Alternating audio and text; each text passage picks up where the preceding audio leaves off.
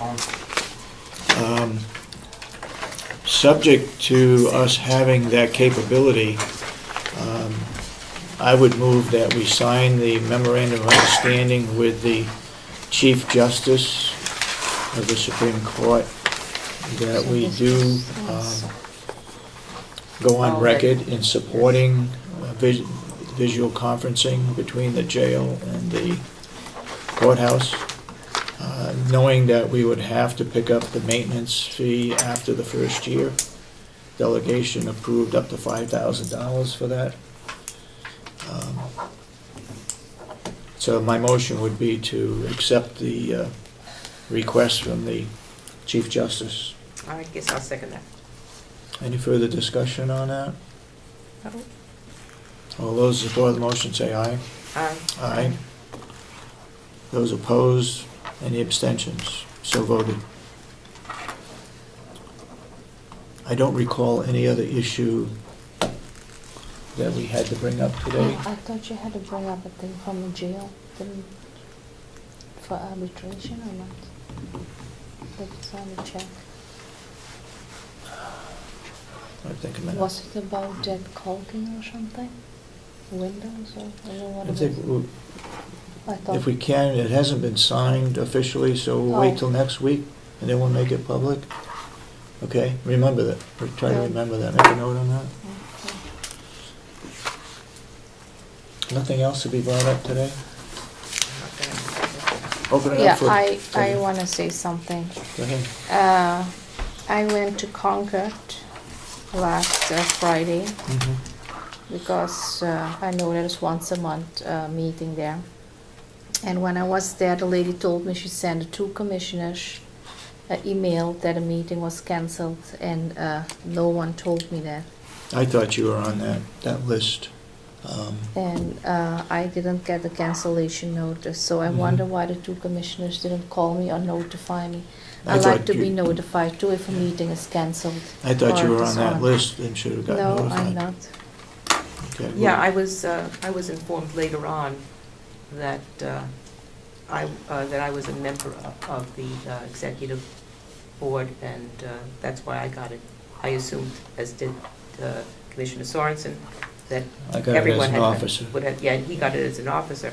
I assumed that everybody I did got the too. email. I didn't. Sorry that you And, took that uh, time to go Yeah, all she the way said down she there. sent it on Tuesday. Yes, Okay. well, there again, uh, we, I didn't know. Anybody got any public input? Mr. Albee? On the uh, how's the county doing uh, question, I think in, uh, one of the resources that's e- easily available to you is to look at the current census data Mhm. that's online. Um, Our tax rate, which is a dollar a thousand, pretty much across the board throughout the county, can be compared to median household income, can it be compared to home values? Um, That dollar a thousand, and what is that, how does that impact each household? Can be compared to how the tax rate in all the other counties affect households in the other counties. That- There was, a- and I'm sure it'll come up again, um, some comment that we tax more than any other county, or our taxes are above average. And that, the only way that that, the only premise that that could be worked, or when I talked to Representative Algren about his premise, was that somehow our median income was lower, so it jacked up the impact that that dollar a thousand had on our taxpayers, but it- that doesn't actually hold. And when you look at the numbers, our tax rate is significantly lower than a lot of the other counties. So Yeah. That's the biggest benchmark. The other um, um, study you could make is to get the budgets of the other counties and compare the amount of revenue versus the amount of expenses for each county. Because they're all run a little differently, and we're run a little differently than, than the other counties. And comparing the, we all provide the same services.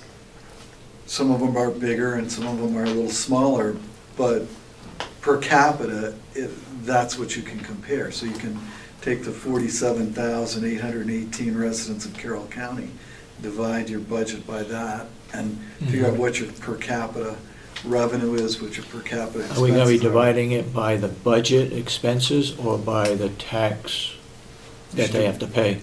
You should do both, because the budget expenses is gonna assume that you've got forty-seven thousand eight hundred people paying the budget. You Mhm. don't. You've got all of these people with second homes that are also paying part of the budget.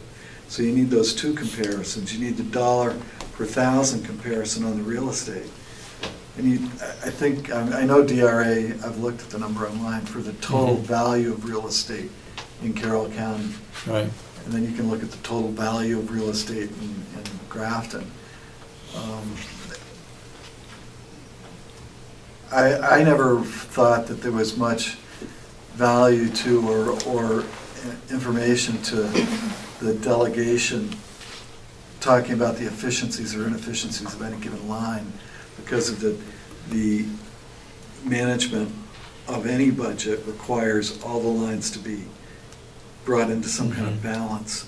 And sometimes one line here, for instance, the crazy conversations about overtime at the nursing home. If you take any line in isolation, you can make it look however you want. But if you put that line in the context of the overall budget and your options for operating within that budget, it changes your, your conversation Mhm. to something a little more realistic. But that's the job of the commissioners. I mean, you guys manage the place, the Mhm. delegation. But I, I don't know that, uh, if you looked at, and I have actually looked, I did it a couple of years ago, look at the impact per household versus the impact per household for Merrimack and Rockingham and uh, Strafford. And we were significantly less per household in our, in our uh, impact of county taxes on a household. And I don't think that's changed.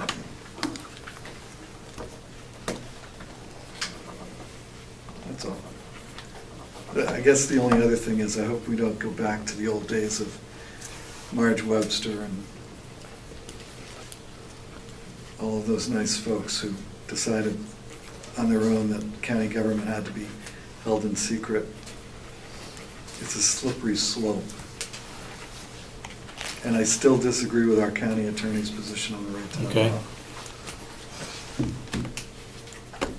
any other public input? When we have elections, right? Um, Yes, I know it's a topic that keeps coming up, but you- you mentioned on the uh, non-public that there are none that you feel that should be um, brought into the public. Now, how many s- non-public minutes are there? You mentioned earlier that you would, i- in your opinion, none of the minutes that were now sequestered should, should be Right. ex- Right. exposed. How many are there?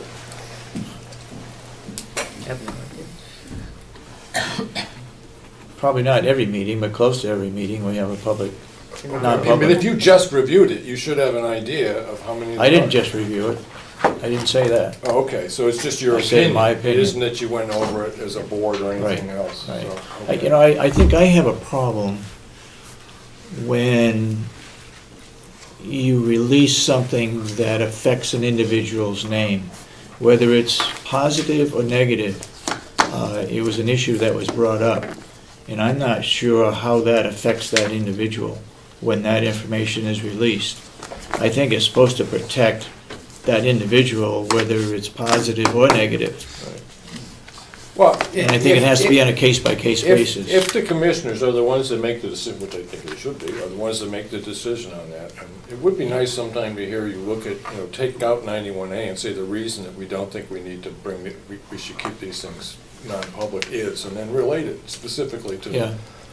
to the law. I mean, because what you say is nice as a human being, is, is that there's certain things you do and don't want to do for, to people, but there's certain things that you have to do legally. And there's no, there's no inherent protect, there's absolutely no protection of elected officials. None whatsoever of elected None. officials. That's, that's precisely what 91A We are well A aware served of to that. address. Yeah. I think we're aware of that. And then, and just in I'm relationship. talking about individuals that our decision affects. There's always the, redacting. Yeah. I mean, the- wh- what the, the, the point of 91A as well was how does your board operate with regard to its managerial decision-making Mhm. process and its management of employees, its management of lawsuits, its management of contracts. So utilize redacting. I mean, I don't think anybody here, or anybody who's subsequently going to watch it on YouTube is interested to know whether Jane Doe did something. What we're interested in is how did you manage that, that event? Right. And what was the Outcome? outcome? And Mhm. that, it's, it's not to hang somebody out and tar and feather them, it- it's to figure out how the, the the management's going, and that's, that's all it is. Okay. The other, I'll- I'll just add a caveat to that. The other interesting thing is you, it seems to be employee issues. You've gone into non-public for every single time, Yeah. and what does Some that, what does that say? Some contracts. Well, it's, it's true. So- But I, I mean, and I'll add another caveat. I mean, I don't know that these guys have gone into any more non-public than we did when I was serving They on have. on the commission. I've been keeping track. Have they? Yeah, I But know. she I- can tell you how I know many the times. I'm answers gonna to say it, that but They should know the answer. Ninety percent of what we went into non-public for were employee issues. They were- Yeah. You know, and- Yeah. and it happens when you have a unionized employee, Oh, I know. employee force. I know, Chip. You know, they need a certain process to be put in place. Okay. Any other further public input? Uh, Go ahead. One thing, when we were talking about the, uh, Mr. Albee brought up the aspect of the county looking at the- those, pro- and I understand the delegation said they're not going to bring that up again, but did anybody ask the delegation if they thought of other uses for the nursing home? They, It's just flat out, they just want to see the damn thing torn down. Mhm. Okay. they don't want But any expansion of county government. A way of looking at it that Mr. Albee brought up today, I think is pretty smart. Might be worth calling a couple of them up and saying, what do you think about us trying to do this? Well, I know there's a couple that voted against it. Yeah, just I don't can call tell those two and I know I can get Well, an opinion. leave- yeah, It'll think be about- redact his doesn't name. matter. Redact his name, yeah. It doesn't matter, it'll be on the tape. Mr. Chip redact my name, Albee. It just seemed like a pretty good idea, so. I, I,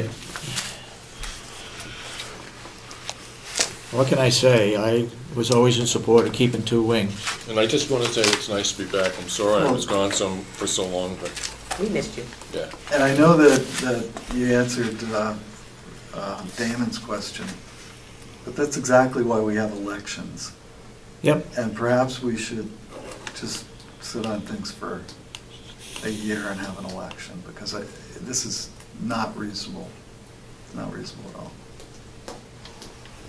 You know, I think the other thing is that many of our delegation members are not here, we're not here on a daily basis, we're here every week, and maybe a couple times a week, where they come in for one meeting uh, and make the decision.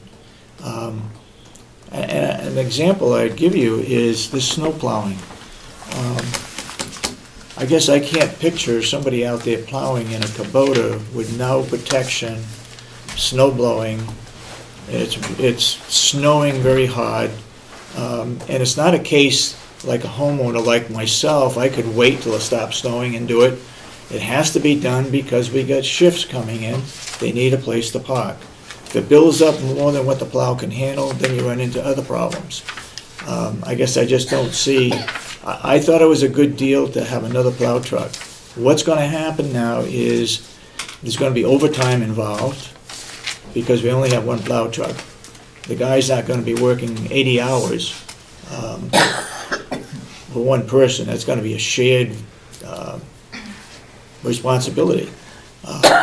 And the other thing, if it breaks down, it's gonna be costly.